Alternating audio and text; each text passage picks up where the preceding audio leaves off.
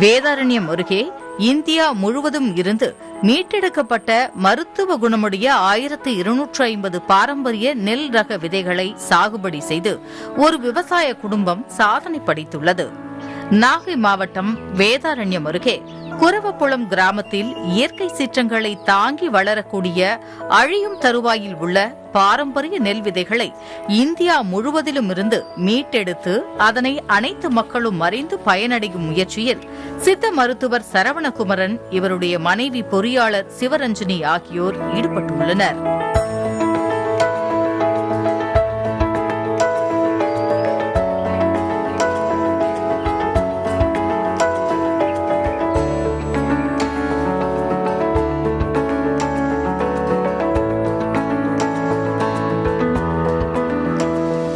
தமிழகம் ஒடிசா கேரளா கர்நாடகம் மகாராஷ்டிரம் போன்ற பல்வேறு மாநிலங்களில் இருந்து கார் குறுவை சம்பா ஆகிய பட்டங்களில் சாகுபடி செய்யக்கூடிய பாரம்பரிய நெல் ரகங்களை கண்டறிந்து அவற்றை வரவழைத்து பாதுகாத்து காத்து வருகின்றனர்.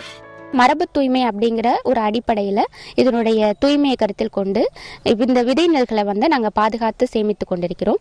விழிப்புணர்வு அப்படிங்கிற ஒரு பட்சத்தில் பார்த்தீங்கன்னா கண்காட்சி அமைப்பில் நாங்கள் வந்து இதை வந்து விழிப்புணர்வு படுத்தி கொண்டிருக்கிறோம். இது போக மக்களுக்கு இலவசமாக இயற்கை விவசாயம் செய்வதற்கான பயிற்சி வகுப்புகள் மற்றும் அனைத்து வகையான மூலக்கூறுகளுக்கான தேவைகள் அதாவது இயற்கை விவசாய பொருட்கள் இடுபொருட்களுக்கான ஒரு விழிப்புணர்வை பற்றியும் நாங்கள் வந்து எங்களுடைய அமைப்பின் மூலியமாக செய்து கொண்டிருக்கிறோம். இப்போ ஆயிரத்தி இருநூற்றி எண்பது ரகங்கள்லையும் பல வகையான நெல் வகைகள் இருக்கின்றது. இது போக மகசூல் அதிகமாக தரக்கூடியது பட்டம் வாயிலாக உள்ளது. இது ம- இது போன்றும் மருத்துவத்தன்மை அதிகம் நிறைந்த அஹ், நெ- நெல் மணிகளும் எங்களிடம் அதிகமாக சேமிப்பில் இருக்கின்றது.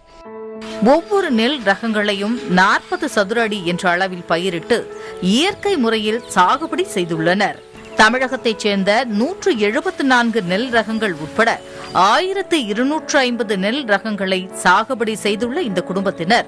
விவசாயிகளுக்கு விதை நெல்லாக வழங்கும் முயற்சியில் ஈடுபட்டுள்ளனர். அரிய மற்றும் அழிந்து போன மற்றும் வழக்கொழிந்து போன பல்வேறு ரகங்களை மீட்டெடுத்துள்ளோம் என்பதையும் இத்தருணத்தில் தெரிவித்துக் கொள்ள விரும்புகிறோம்.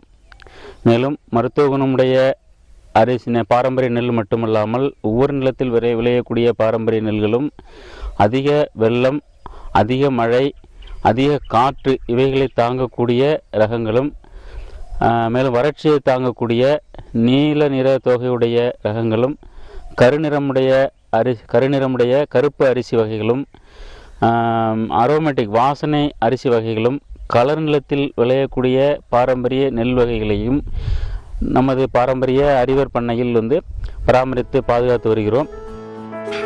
தமிழகம் மட்டுமின்றி இந்தியா முழுவதும் உள்ள விவசாயிகள் பயன்பெறும் வகையில் அவர்களுக்கு பாரம்பரிய நெல் ரகத்தை அனுப்பி ஆங்காங்கே விதை வங்கிகளை உருவாக்கி வருகின்றனர்.